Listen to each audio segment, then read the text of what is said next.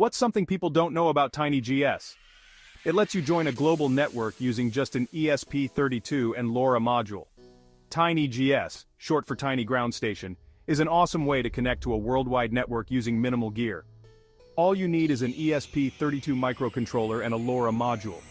Sounds simple, right? It is. First, grab your ESP32 and LoRa module. Connect them using a few wires. Don't worry, it's super easy. Next, download the TinyGS firmware. Flash it onto your ESP32. Done? Great. Now let's talk connectivity. TinyGS lets you tap into a global network of enthusiasts. You can monitor and analyze real-time data from IoT devices anywhere on Earth. Imagine tracking weather balloons or even satellites. Cool, huh? Join the community, share data, and contribute to a bigger picture. With TinyGS, the possibilities are endless. So go ahead and set up your TinyGS today. Stay connected, stay curious.